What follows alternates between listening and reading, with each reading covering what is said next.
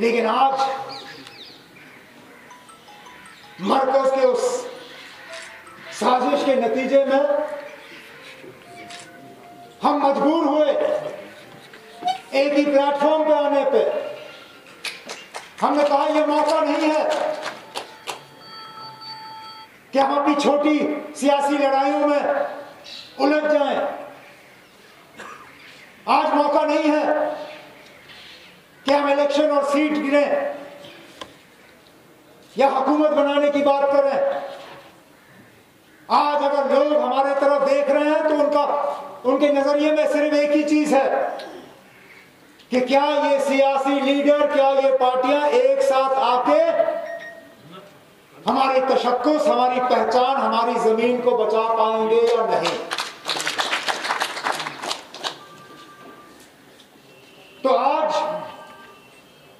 मैं बड़गाम की पाँच सीटें नहीं गिन रहा हूँ। मैं श्रीनगर के आठ या गांधरबल के दो या अनंतनाग की सीटें या बारामूला की सीटें या जम्मू की सीटें नहीं गिन रहा हूँ। ये लड़ाई इकतदार की लड़ाई नहीं है। ये लड़ाई वज़ीर आला की कुर्सी की लड़ाई नहीं है। लानत हो हम पे। अगर इन हालात में आज भी हम इकतदार की कुर्सी के पीछे भागे लोग कभी हमें माफ़ नहीं करेंगे।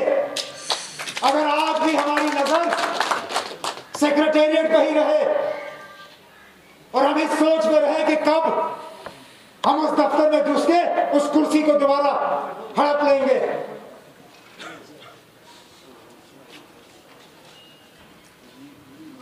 हमारी लड़ाई अपने आप को बचाने के लिए है। हमारी तशक्कुस, हमारी पहचान, हमारी शनाख्त, हमारा आने वाला कल, ये लड़ाई उसके लिए है।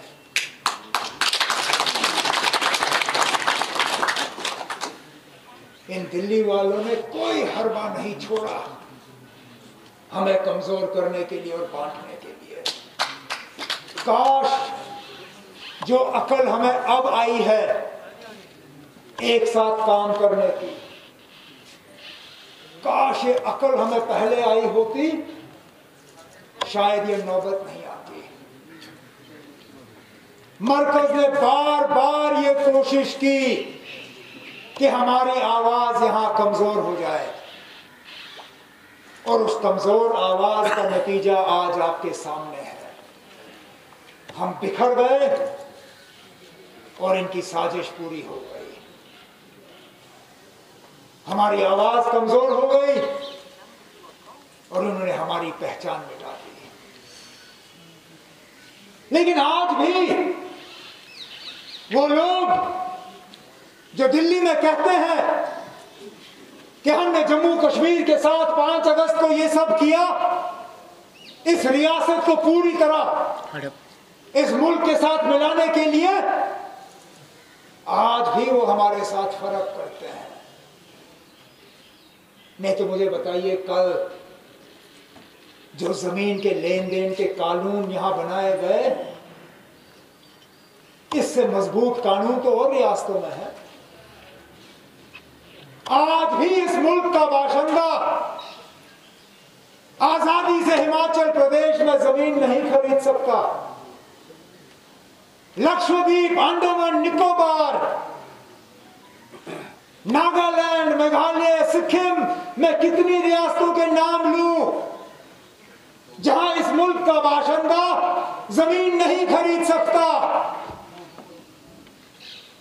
लेकिन पता नहीं हम जम्मू कश्मीर के लोगों का क्या कसूर है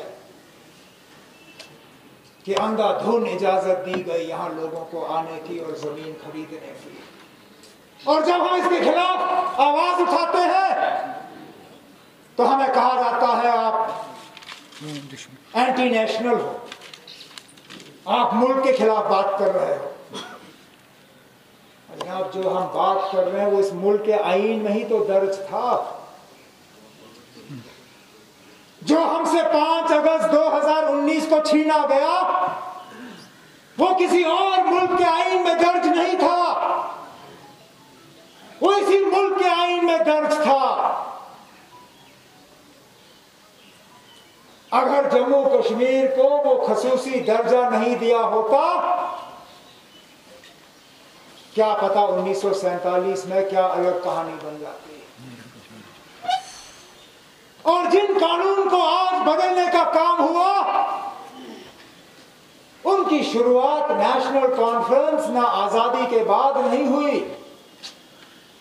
जिन कानून को परसों तहस नहस किया गया, उनकी शुरुआत तो महाराजा साहब ने की थी। जिस महाराजा के मूर्ति के सामने परसों ही बीजेपी ने जम्मू में प्रोग्राम किया। उसी महाराजा साहब के कानून को इन लोगों ने तहस नहस किया। और हम एंटी नेशनल ये दिल्ली वाले जब नागालैंड वालों से बात करते हैं नागालैंड का लीडर ये कहता है कि ना हमें हिंदुस्तान का आइन मंजूर है, ना हमें हिंदुस्तान का झंडा मंजूर है, ना हिंदुस्तान की सालमियत मंजूर है। उनके साथ तो आप बातचीत करते हो। उनका नाम तो मैं आपके टीवी चैनलों पर नहीं देखता हूँ। यह कहते हुए कि ये जी देशद्रोही है एंटी नेशनल है लेकिन जब यहाँ के लोग अपनी ज़मीन को बचाने के लिए अपनी पहचान को बचाने के लिए अपनी शनाख्त को पहचान बचाने के लिए आवाज़ उठाते हैं तो सीधा आप कहते हो ना ये तो मुल्क के खिलाफ बगावत कर रहे हैं। कल एक पार्टी के वर्करों को जम्मू में पुरमन तरीके से जुलूस निकालने की इजाज़त दी जाती है। इन नए ज़मीन के कानून के खिलाफ पुरमन तरीके से निकले, नारे निकाले, जुलूस किया और गए वापस। आज उसी तंजीम ने श्रीनगर में पुरमन तरीके से एक जुलूस निकालने की कोशिश की। और क्या किया आपने? वर्करों को उठाया, कोठीबाग पुलिस थाने में बंद किया। आखिरकार बताइए, आप हमसे चाहते क्या हो क्या वाकई चाहते हो कि हम मेन स्ट्रीम छोड़ दें? जिस चीज़ के लिए हमने तीस साल यहाँ कुर्बानियाँ दी, क्या आप चाहते हो कि हम वो छोड़ दें? कोई समझाए मुझे? ये कहाँ पे लिखा है कि आइन के तहत पुरमन तरीके से अपना हकूक हासिल करना गैर कानूनी है या एंटी नेशनल है। आगे। हमारा ये सियासी माहौल किस तरह की करवट ले, किस तरह के फैसले हमें लेने पे मजबूर करे, किसी को नहीं पता। क्या पता अल्लाह ताला ने हमारे लिए क्या सोचा होगा। लेकिन मेरे वालिद साहब हमेशा कहते हैं और मैं इस बात को मान के चलता हूँ कि अल्लाह ताला ने जो भी सोचा होगा आखिरकार अच्छा ही सोचा होगा। और कोई भी अच्छी चीज़ आसानी से हासिल नहीं होती। अच्छे चीज़ों को हासिल करने के लिए मुश्किल रास्ता इख्तियार करना ये हमारी ज़रूर, हमारी मजबूरी और हम, हमें करना पड़ता है। और हम करेंगे। हम करेंगे, क्योंकि ये लड़ाई हम हारने के लिए